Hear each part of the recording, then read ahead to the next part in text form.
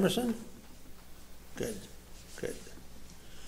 Well, we are looking tonight at, of course, this uh, Revelation chapter 4 2, although we're going to be looking inductively at much of what it teaches tonight. We saw the four times that John says in the book of Revelation, I was in the Spirit, or in the concept there now, John sees something in the spiritual realm that we presently can't see. We can see it by faith, and that's what God has given these portions of Scripture for us uh, in the Word of God, especially the book of Revelation and the future prophecies. We look at these things and we know with a surety that this is what will happen in heaven. And of course, much of what we see in chapter 4 is taking place in heaven. And we see these seals beginning to be opened. They're opened in heaven, as we said this morning, and the effects of that opening happens on earth. The church is in heaven, glorified believers standing around the throne of God and the first thing that John reveals to us is that uh, God is on his throne. He sees the throne of God in heaven. And he tries to describe it uh, the best that he can with terms that he thought everyone would be acquainted with. And of course, that's by the inspiration of God. So here, the throne of God in Revelation 4 2 is the judicial throne of God. And this leads us to two things. Somewhere along the line in your life, we know this your sin has to be paid for. It has already been judged, right? We, for all have sinned and come short of the glory of God. So, for every one of us born into the world, our sin has already been judged, and the wages of that sin is death. So we are destined to an eternal separation from God just by the fact that we are born children and descendants of Adam. For one by for by one man sin entered into the world, and death by sin. So death is passed upon all, for all have sinned. Of course, we all have a sin nature. That problem poses a serious problem. And so the judicial throne of God is God's uh, action upon this throne is determined by what people have done with Jesus Christ as Savior and Lord. And so he's going to, he sets upon that throne. There are two actions of God upon that throne. It's a judicial throne. One, of course, is it becomes the mercy seat and the throne of grace for those who are saved. For those who reject Jesus Christ, it continues to be the throne of judgment, and the white throne will be their destiny. So that is what we see here in this text, this judicial throne of God. And as we look upon this judicial throne of God, and, and we'll have to understand its context. The context is God is going to judge the nations of the world. All those who, at, only at the beginning of the tribulation, there will be no saved people on earth at all. Not one single saved person will be left on earth. So everybody on earth will be lost and God will begin. And once it begins, remember, it's going to go. There's no stopping it.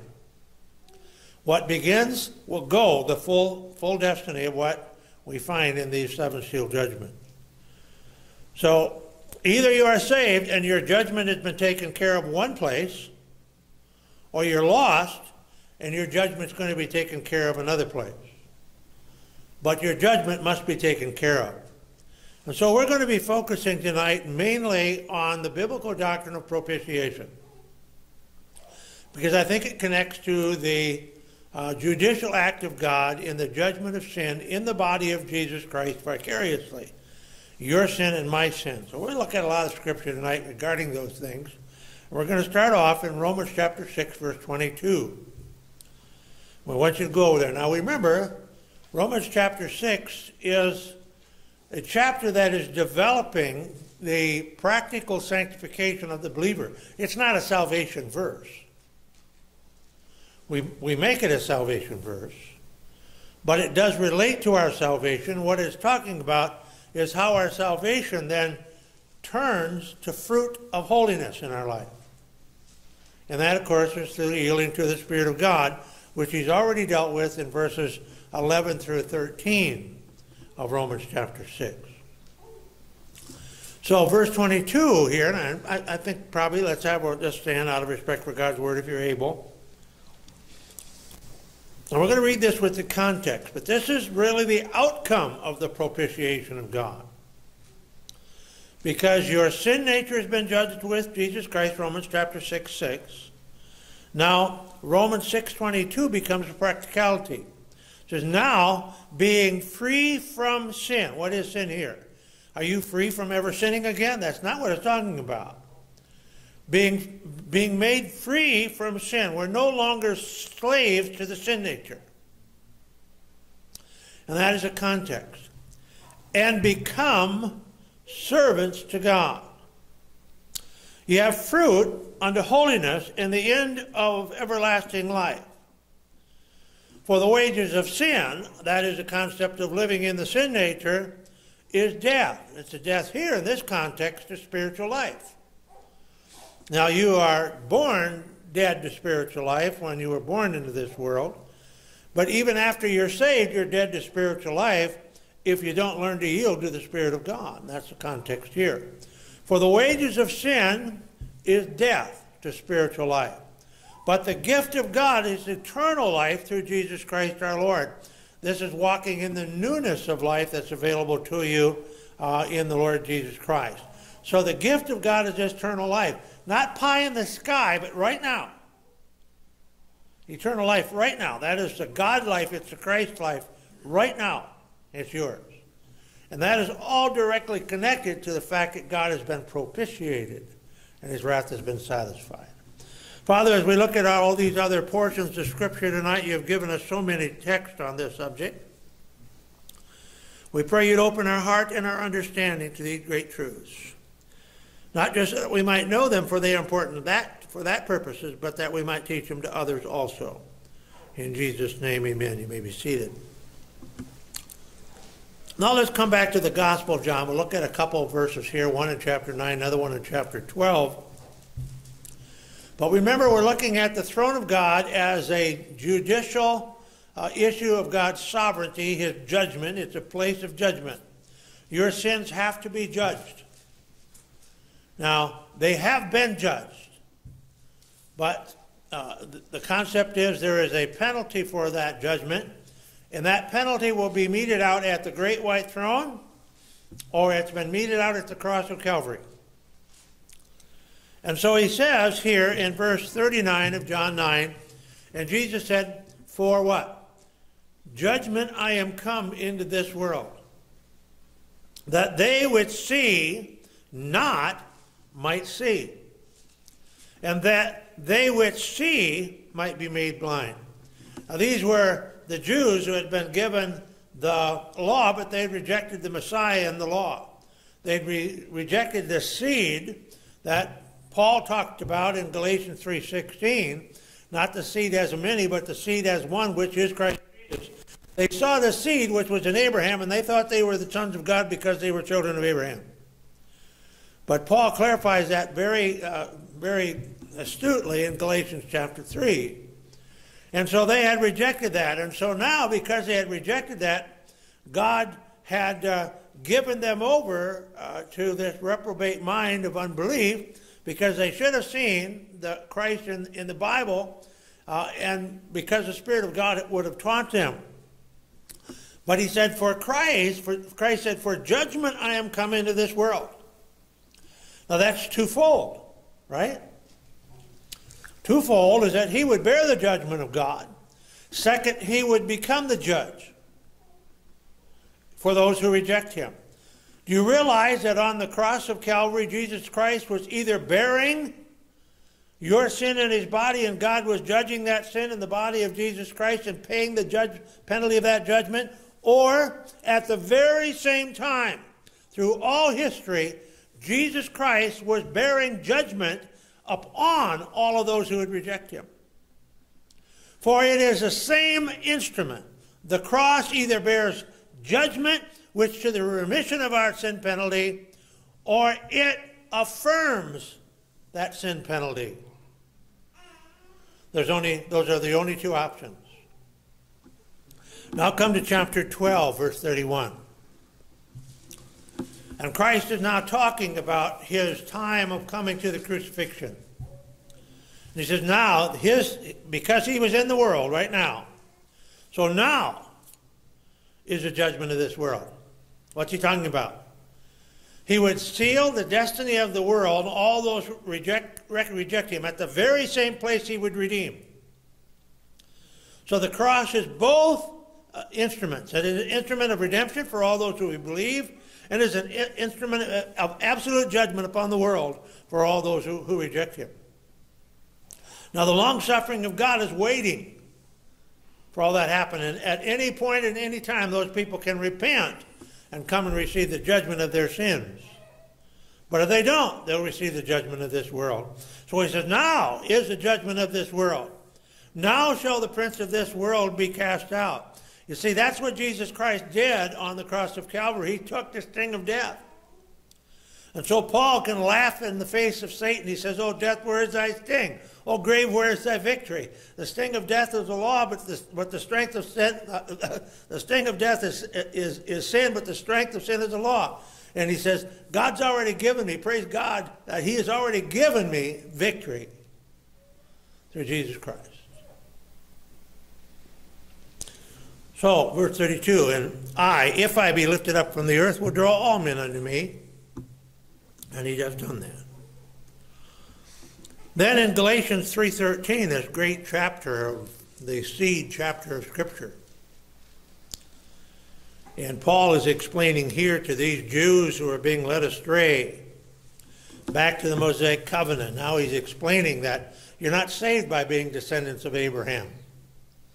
Unless you're a descendant of the seed of Abraham, which is the faith of Abraham, which faith was in the seed, which is Christ. The same thing in Romans chapter 9. Not seeds as many, but seeds as one, which is Christ. Galatians 3 13.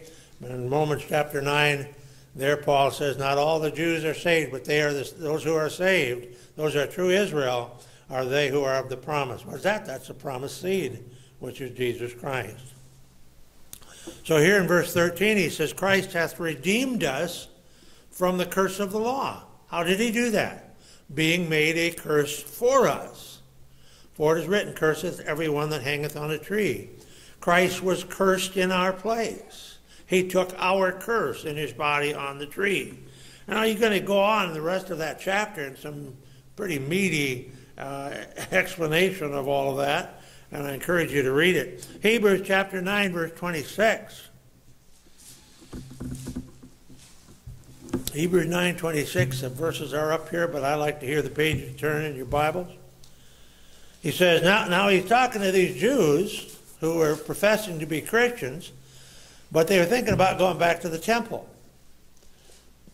going back to live under the Mosaic covenant, continue offering sacrifices, and, and be under the Old Testament priesthood rather than being priests themselves of, of God, the, the, new covenant. They're thinking about going back to the Old covenant.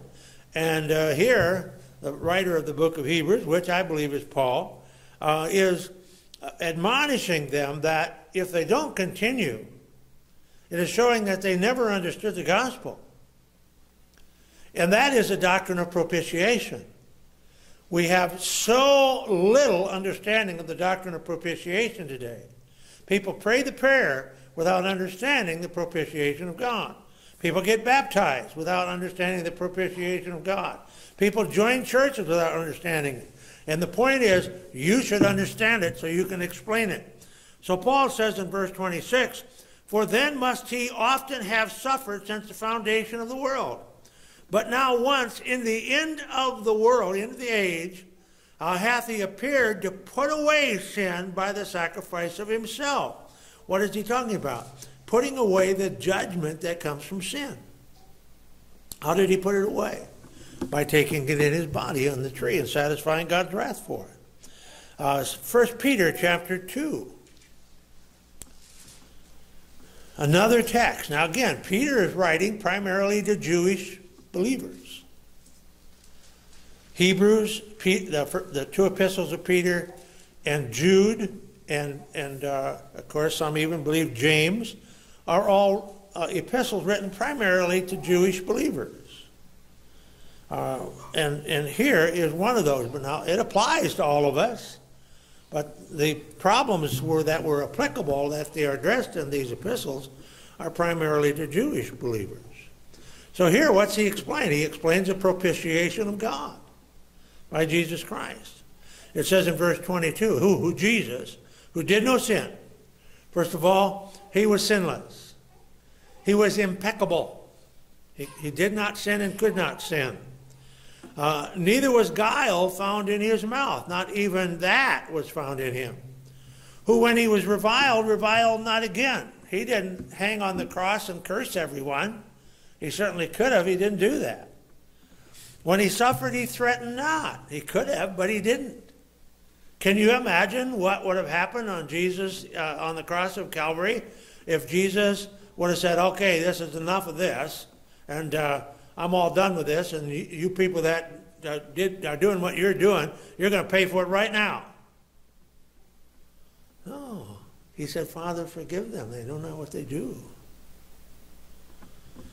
He threatened not, and then we have the but in this text, but committed himself to him, that's the Son committing to the Father, that judgeth righteously.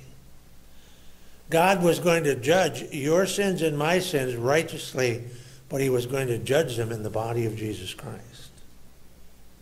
He was going to satisfy them. That death sentence. Who his own self, Jesus said here about Jesus, who Jesus, his own self, bear our sins. What's he talking about? Bearing the penalty of our sins, which was death, in his body on the tree. That way, so that we, being dead to sins, should live under righteousness by whose stripes he were healed. There's a should here. And then in 1 Peter 3.18, another great verse of Scripture. You should memorize these. Yeah, yeah, you know, Esther and, and uh, Ezra and, and Emerson I encourage you to memorize these verses. I memorized them when I was about in my mid-20s, um, sometime then, but I've used them thousands and thousands of times to lead hundreds of people to Christ. Why? Why do I need these verses? Why are they so important? Because they teach the propitiation of God. And I don't believe anyone can believe the gospel if they don't understand what the gospel did, what it accomplished. And that is the propitiation of God. Everything else comes out of that. If you don't understand that doctrine, you can't understand anything else about the gospel, and nor can you explain it. So, say Jesus died for our sins and uh, you know rose from the dead. That, that's all true. But the intent of those words is what did these accomplish? And when we believe, we're believing in what it accomplishes for us. So in verse 18 of 1 Peter 3, it says, For Christ also hath many times suffered for our sins. No, no, no, no. Once. Once. The just, the sinless one, for the unjust, the sinner that, or so that, he might bring us to God. This is reconciliation. He didn't bring us to God to, to uh, you know, to live in heaven. This is talking about having a relationship with God, the righteous, holy God, so we can have a personal relationship with Him. So He brings us to God, reconciliation. And this is our ministry, is to explain this to people. Remember uh, 2 Corinthians chapter 5? To wit, the, God has given us a ministry of reconciliation and the word of reconciliation, to wit, that God was in Christ Jesus, uh, reconciling the world unto himself. That's our ministry of reconciliation. So we are to explain not just an escape from hell, but we propitiation gives us a, a, a, relationship, takes us to have this relationship with, with Jesus Christ. So that he might bring us to God, being put to death in the flesh, but quickened by the Spirit. The justification of sinners, that's the gift of God kind righteousness in the indwelling Holy Spirit of God is available only because God has been propitiated. Otherwise, nothing else, everything else would be impossible. If, if the death sentence was not satisfied and your sin penalty remitted, by the way, your salvation is dependent upon your remission of the sin penalty, not forgiveness of sin. Forgiveness of sin is only for believers. Once you believe, then you can be restored to fellowship by the same blood that satisfied the wrath of God. You can be uh, restored to fellowship with God by appealing to that once for all sacrifice of Jesus Christ that has already borne the penalty for every sin you've already committed. And, and don't confuse the two. They're two different Greek words in the Bible. So perhaps the best definition and practical application of the doctrine of propitiation is the righteous satisfaction of God's just penalty, which is death, through the substitutionary and vicarious payment of that sin penalty once for all in the body of Jesus Christ. Once for all.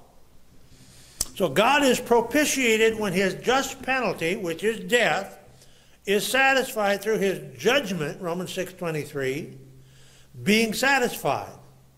The wages of sin is death, but the gift of God is eternal life through Jesus Christ our Lord. Look at Romans 6, or Romans 3.20, excuse me, Romans 3.25.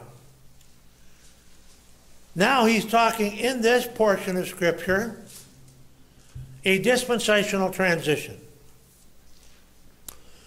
The issue of the sins of the Old Testament believer and the sins now, what happened to those uh, sins, those sins that were past, and now how it brings it into the new covenant. And it says, Whom God has set forth to be a propitiation through faith in his blood, to declare his righteousness for the remission of sins. That's a remission of the sin penalty. That are past through the forbearance of God. Now, this uh, is talking about the Old Testament say it was saved on credit and put on layaway. And what that means is that uh, their, their sins had not yet been satisfied by the blood offering of Christ. So it was all on credit. But the credit was sure because God said his son was coming. And so they look forward to that. And so all the remission of the sins that are past. This is not talking about your sins and my sins that are past. Every sin that we ever committed was already in the, in the future when Jesus Christ was crucified. And so he's talking about all the sins that happened before Calvary. So uh, here he came to declare the righteousness of God for the remission of sins that are past through what? The forbearance of God. And the forbearance of God is he, he forbear. he, he bare before. That's the context here. So he says, now to declare, I say at this time, at the new beginning of the new covenant, that he, God, might be just and the justifier of him. Uh, we, we would say, how can God save uh, anyone? You know, really, uh, it, the whole issue is, how can a just God save a sinner? Well, propitiation is the answer. So he, that's the only way he can be just. The penalty has to be paid. And second, then he, the only way he can justify. So he, that he might be both just and the justifier of him which believeth in Jesus.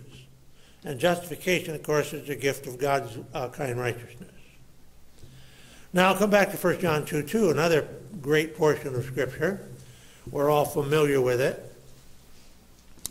And here in this context, he is talking to believers so that they can understand this issue of the propitiation of God.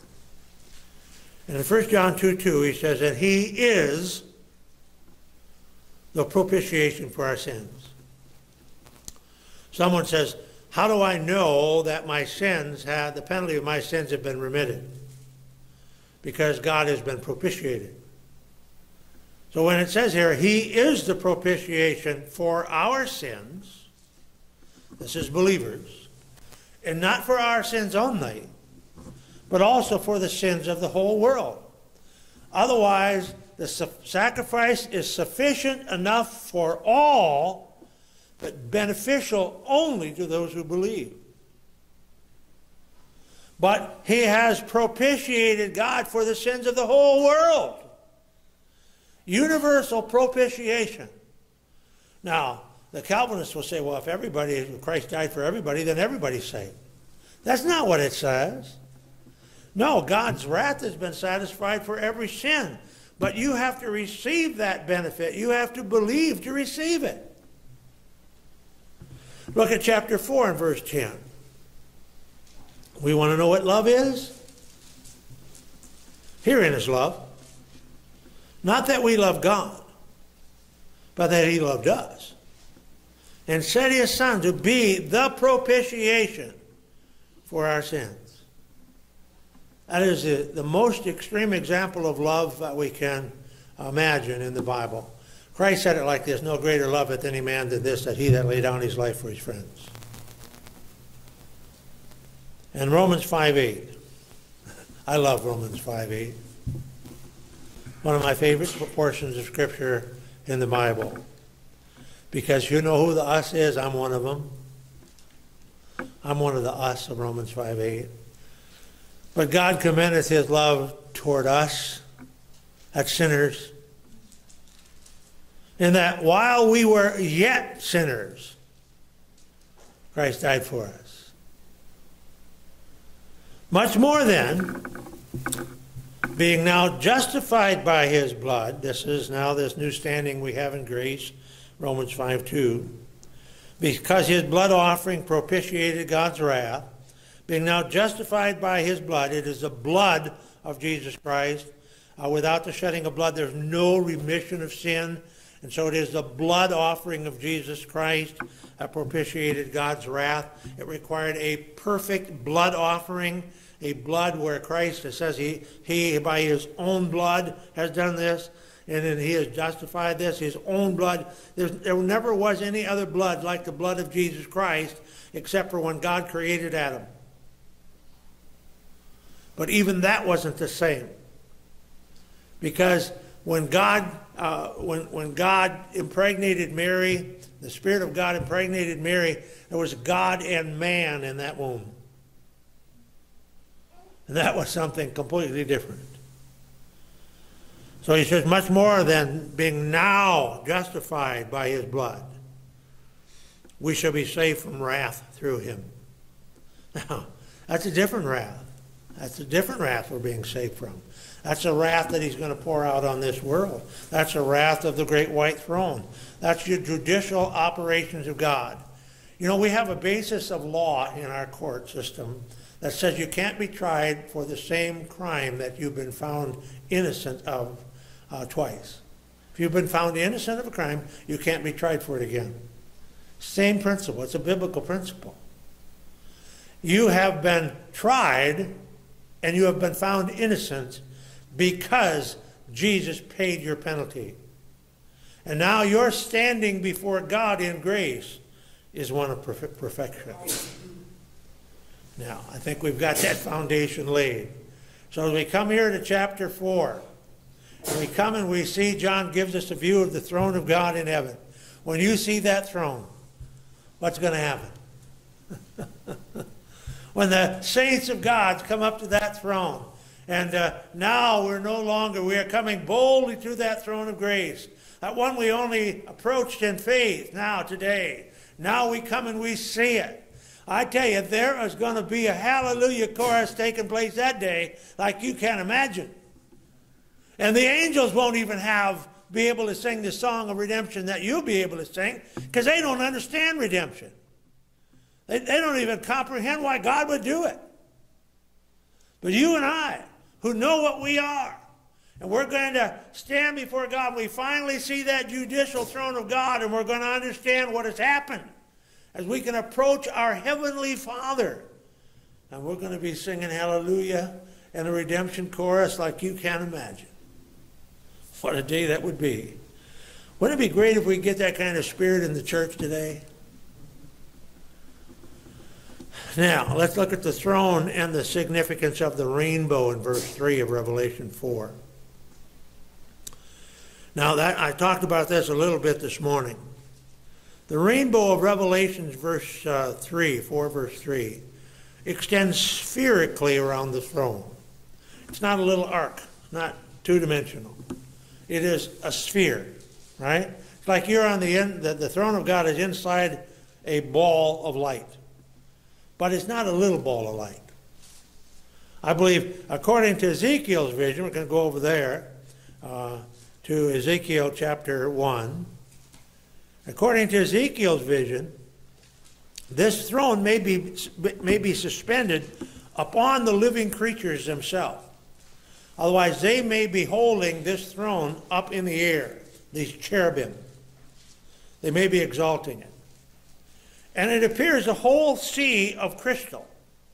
Remember, gold, when it is purified to its purest sense, becomes translucent. You can see through it. And so uh, it appears a whole sea of crystal upon which this throne sits is suspended upon the living creatures, these beasts, as a vehicle upon wheel, wheels. And uh, at least that's the way it seems to be described. Now, when you get there and that isn't what you see, uh, then trust your eyes, not what I say. Amen. But uh, here in verse 9 of Ezekiel 1.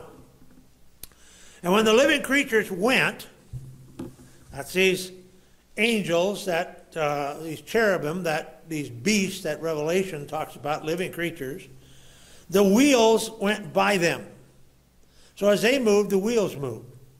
And when the living creatures were lifted up from the earth, what? The wheels were lifted up. And whithersoever the Spirit was to go, they went. Thither was their spirit to go, and the wheels were lifted up over against them. For the spirit of the living creatures was in the wheels. And what's, he, uh, what's this saying? I, I think what I see here is this is a mechanism by which the throne of God moves, transport, through these uh, angelic beings. Now, when those went, these went, and when those stood, these stood. Otherwise, when the cherubim moved, then the, the, the throne moved. When they stood still, they stood still. And when those were lifted up from the earth, the wheels were lifted up over against them. Otherwise, they rose up off the earth. For the spirit of the living creatures was in the wheels. Now, the spirit here, of course, is, is, is just the breath or the power that was in these wheels. So there was power in these, uh, angelic power here. And we have no idea what the power of angels are. We don't have any comprehension of it. I do know this that the Bible says that Michael uh, did not fight with Satan and the other fallen angels. He let the, God take care of that. And that's how powerful they were. They are. And we, we have no comprehension. I guarantee you, you shouldn't be taking them on your own power. Uh, you better be careful about it. And the likeness of the firmament upon the heads of the living creature was as the color of the terrible crystal stretched forth over their heads above. And under the firmament were their wings straight, the one toward the other. Every one had two, which covered on this, on this side, and every one had two, which covered on that side, their bodies. Otherwise, it was a covering for them. And when they went, I heard the noise of their wings, like the noise of great waters, as the voice of the Almighty, the voice of speech, as the noise of a host. When they stood up, they let down their wings. Somebody once told me, he said, Well, this is like a helicopter. They have these helicopters that now the blades can fall down. I said, Man, you sure got a short sighted view of that. Uh, I guarantee you, these aren't helicopters, these are living creatures. And uh, uh, what they're like, we may find some things that are similar to these, but I guarantee you, it's nothing like what we can imagine here in our little minds. So it's going to be noisy when, it, when they uh, start moving around. And there was a voice from the firmament that was over their heads when they stood up and had let down their wings. And above the firmament that was uh, over their heads was a likeness of a throne. So it's above them, right? As the appearance of a sapphire stone, and upon the likeness of the throne was the likeness of the as the appearance. Now all of these I want you to underline as the appearance in your Bible. Because he's not saying this is what they are, it's what they look like. It's as they appeared. He's trying to describe them in the best way he can describe something that's indescribable. so uh, the appearance, uh, and I saw as the color, as the color of amber, as the appearance of fire round about it, from the appearance of his loins even upward, and from the appearance of his loins even downward. What's he talking about? A sphere of fire, what looked like fire. As the appearance of the bow that is in the cloud in the day of rain. So it was like a spherical rainbow that surrounded him but was on fire. and yet he could see through it. Now he's just trying to describe it the best he can. So was the appearance of the brightness round about it. What's he talking about? He's talking about the glory of God. It's more than just a bright light. It is a judgment of the righteousness of God. It is righteousness that judges. It is, it is righteousness. Why man cannot look upon the glory of God in his lost estate? He cannot do it because it would destroy him. It is a fire of righteous judgment. And this was the appearance of the likeness of the glory of the Lord. Now, it's the likeness of the glory of the Lord. He's trying to describe it. And when I saw it, what's his response? I fell upon my face and I heard a voice of one that spake. God is speaking. It's apparent that this spherical radiance surrounding the throne like a rainbow is the radiant glory of the Almighty God, like a giant transparent emerald ball surrounding the throne of God. It's glory that can be seen and perhaps even felt. It exists because God is in his glory upon his throne. When we think about the omnipresence of God, that God is everywhere present, it is the glory of God that fills the universe. Einstein uh, spoke about uh, the cosmological constant. He said there's something in the universe, we don't know what it is, we can't see it, but it is that Uh, it is some kind of force that controls everything. I wanted to raise my hand. Mr. Einstein, I know, I know, I know what it is.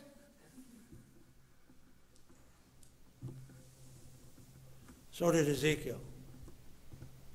So did John. So did Isaiah.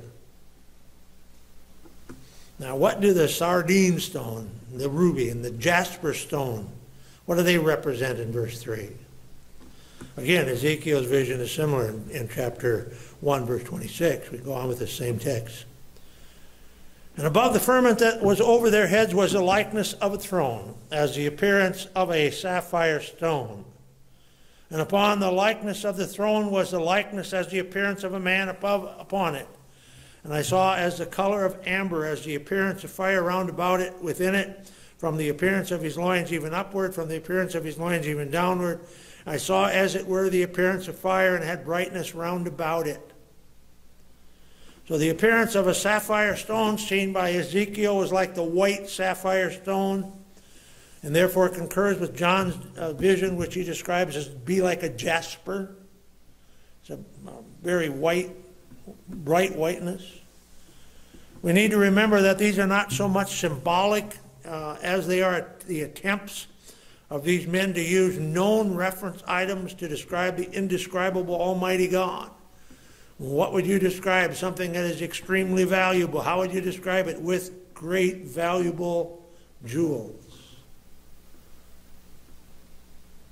In both cases, the rainbow and these colors are described by the brilliance of these stones to describe the radiant glory of God uh, emanating from Him. I assure you, when you finally see it, you're going to say, yeah, I see it just like it. But it's not like it at all. Each aspect re relates to a pure, clear, but visible light. The colors of the rainbow. Do you realize every color known to humanity is in the rainbow? We see just a few uh, there, but actually every color known to humanity Every shade of color that's possible is in the rainbow. And I think that is what God is showing us here. Every aspect, the Alpha, the Omega, everything that we can imagine is there. It's in the rainbow. and that is this glory of God. So I'm sure that these descriptions are inadequate to the reality of God's glory, but they were the very best that man could understand, and, and probably the best we can understand today. Uh, I guarantee you when you get there, you're going to say, wow, those were, were really inadequate descriptions. But if you were a person living in poverty during this particular times and you saw the opulence of what you saw, you would be comparing it to the most uh, opulent things you can imagine. So the breastplate of the high priest of Israel was decorated with 12 precious stones, each representing one of the tribes of Israel. Remember, Moses was to create everything that he uh, saw in heaven, God gave him a vision, it patterned that in the tabernacle. And so that breastplate of righteousness represented these very same things. And it's in Exodus 28, verse 15. It says, Thou shalt make the breastplate of judgment with cunning work. Otherwise, it's supposed to be very skilled labor. After the work of the ephod, that shall make it of gold, of blue, and of purple. This is these many colors that, uh, by the way, these were all uh, very difficult colors to replicate during this particular time, especially when you're out in the desert uh, um, with really no resources. Uh, so they're of, of, gold, of blue, of purple, of scarlet. These were all royal colors. Uh, and a fine twined linen. This is interwoven linen. Uh, linen. Again, uh, most of the clothing was made out of something similar to sackcloth. Very, like um, uh, what do we put a potato potato bag? You know, uh, what are they called? Burlap. burlap kind of like burlap. That's what sackcloth is like. So, but this was very inner, very tightly interwoven linen, the most the, the most precious that you could get. And uh, uh, thou shalt make it four square. It shall be it shall be being doubled. Uh, so very tight. Uh, a span shall be the length thereof, and a span shall be the breadth thereof. And thou shalt set it in its settings of stone, even four rows of stones. The first row shall be sardius, topaz, and a carbuncle. This shall be the first row. The second row shall be an emerald, a sapphire, and a diamond. The third row, a ligure, an agate, and an amethyst. The fourth row, a beryl, an onyx, and a jasper. They shall be set in gold in their enclosings. Otherwise, they should be held in place with gold enclosings. And uh, of course, all of these, how many tribes of Israel are there?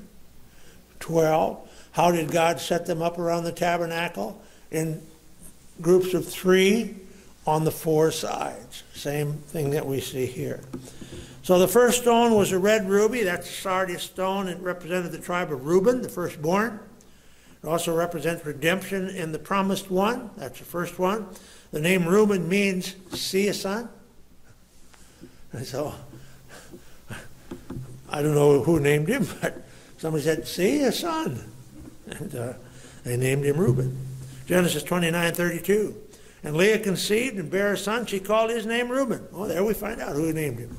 For she said, Surely the Lord hath looked upon my affliction.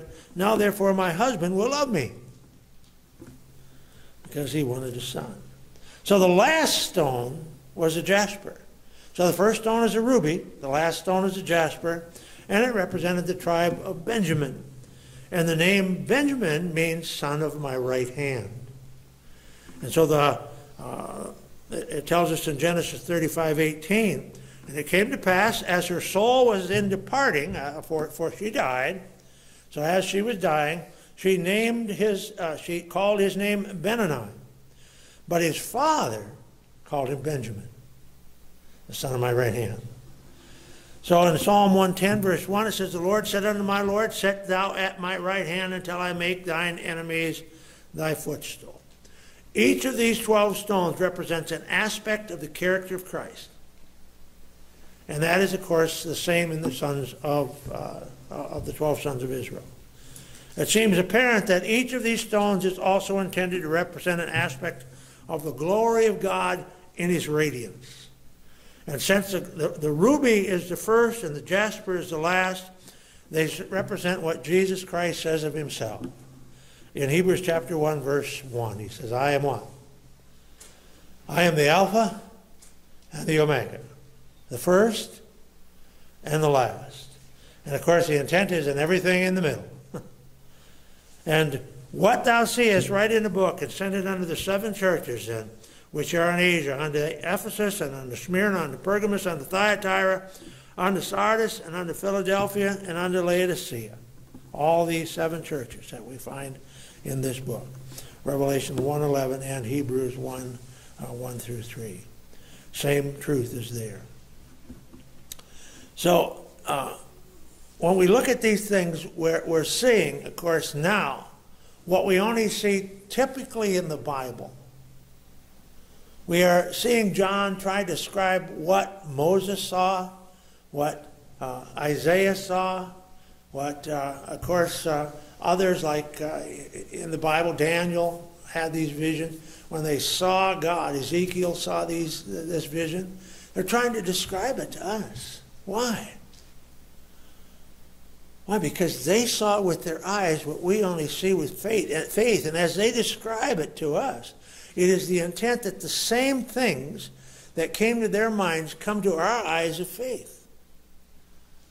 We should know that these are real things. We have eyewitness accounts of heaven.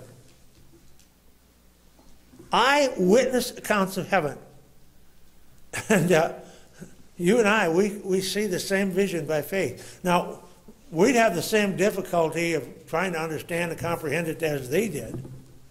And try, you know, uh, I've always tell people, uh, tell me what eternity is without using the word time. No, you, can't. We, we have nothing, we have nothing within our language to even communicate that. So, eternity is timeless. Oh, you just use the word time. See, we can't comprehend something that is not within our realm of existence. That what the, that's what these men, all of them throughout the Bible, who got these visions, otherwise they saw, God let them see with their eyes uh, into heaven. And they come back and us to describe it to us so we can see it with faith. We, we, if we saw it, we wouldn't be able to describe it either. But the point is, can you by faith accept it as real? Because if by faith you can, you must accept everything else the Bible says as well.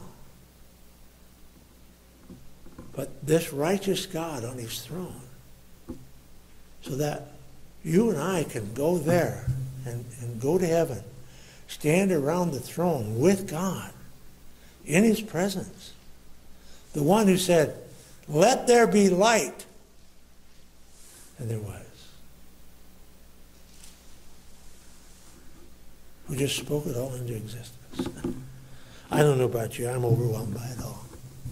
It, uh, uh, every time I read uh, these texts uh, here in, uh, in Revelation and Ezekiel, uh, Isaiah, and Daniel, these great prophecy, I, I move into my wow mode. and I say, I look at all of this and I see this being that we know as God.